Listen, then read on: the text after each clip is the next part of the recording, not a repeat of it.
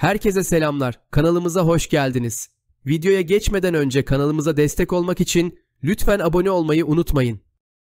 Bu defada bile bile lades ve hesabını soracağım şeklinde başlıklar var. Hemen inceleyelim sevgili izleyenler. Okan Buruk'un tercihleri derbideki şok yenilginin faktörü olarak, baş faktörü olarak belirlendi denilmiş. Fenerbahçe derbisinden ağır yara alarak çıkan Galatasaray yenilginin şokunu atlatmaya çalışıyor. Sarı Kırmızılarda en çok tartışılan konu Okan Buruk'un tercihleri oldu. Alanya Spor deplasmanından bu yana aynı isimlerle aynı futbol oynayan Buruk'un sistemi Pendik, Adana Demir ve Sivas maçlarında da galibiyet getirmişti.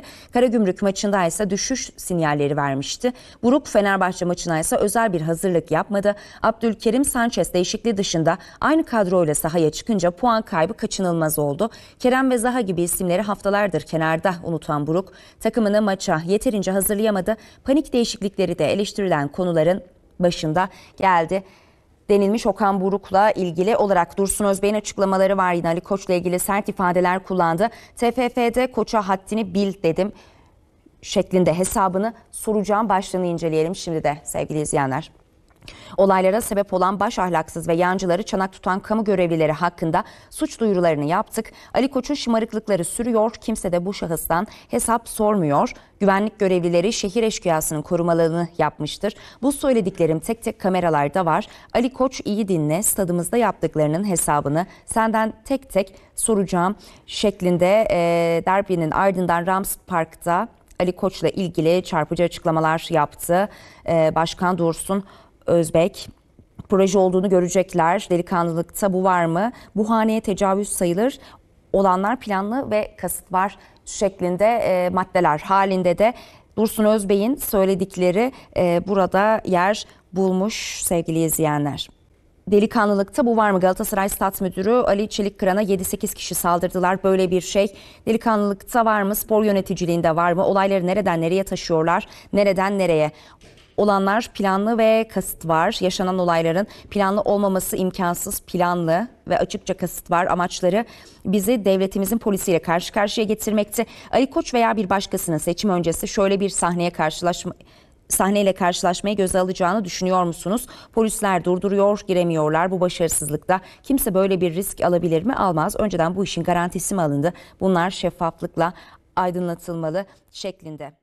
TRT Spor ekranlarındaki Galatasaray gelişmeleri buraya kadardı. Biraz da gazetelere bakalım.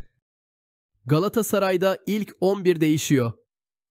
Konya Spor'la şampiyonluk maçına çıkacak Galatasaray'da ilk 11'de değişim bekleniyor. Derbide gösterilen performanstan sonra Okan Buruk adeta çılgına döndü.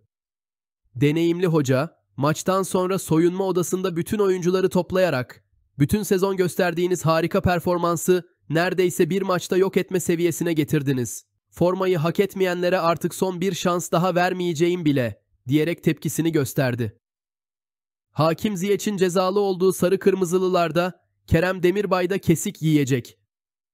Kerem Aktürkoğlu ve Berkan Kutlu'yu sahaya sürecek Okan Buruk, formsuzluğuyla dikkat çeken Derik Köhne çözüm arıyor. Teknik heyet hafta boyunca oyuncuyla özel olarak ilgilenecek. Galatasaray'da Abdülkerim Bardakçı'nın da yeniden formayı alması bekleniyor. Everton'ın gözü Sanchez'de. Galatasaray forması giyen Sanchez'e Premier Lig'den bir talip çıktı. İngiliz basınında yer alan habere göre Manchester United, Everton'ın savunma oyuncusu Jarrad Brentwaite ile ilgileniyor. Everton, Brentwaite'ın ayrılık ihtimaline karşılık Davinson Sanchez'i alternatif isimler arasına ekledi.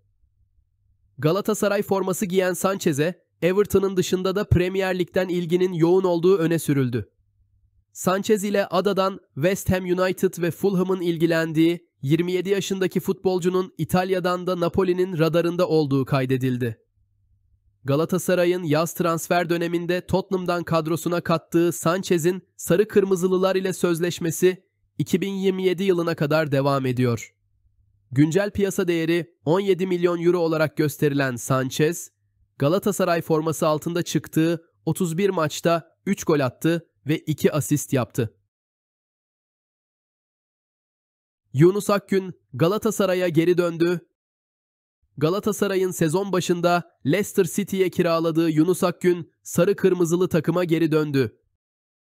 Milli oyuncu sosyal medya hesabından yaptığı açıklamayla İngiliz ekibine veda etti.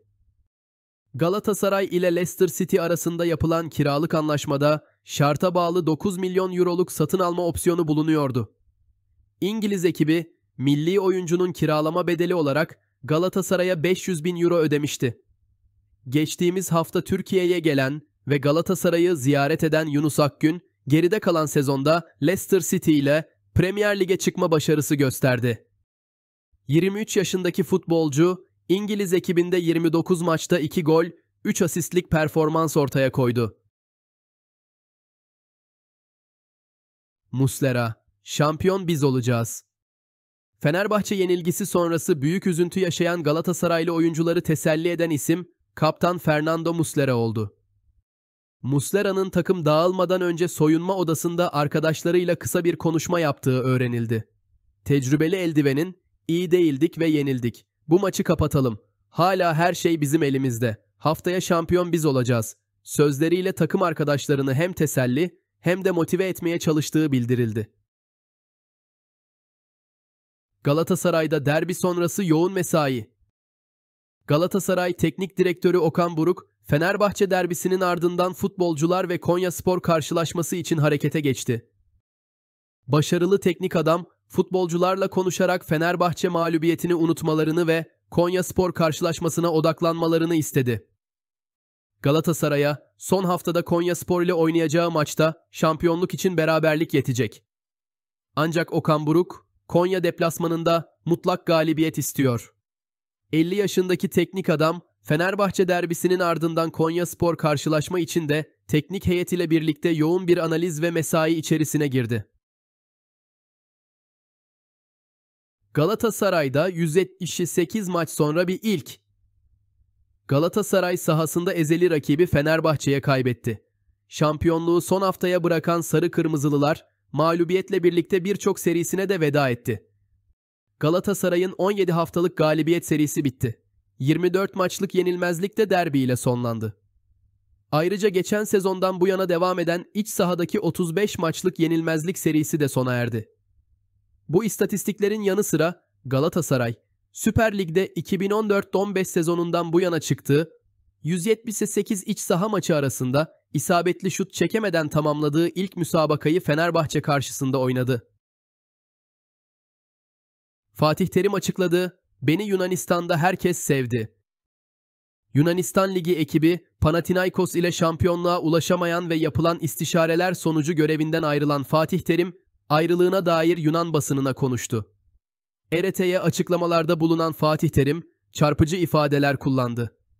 Panathinaikos ile yaşadığı günler hakkında konuşan Fatih Terim, "Nerede olursam olayım, bana saygı ve sevgi gösterdikleri için Yunan halkına çok teşekkür ediyorum.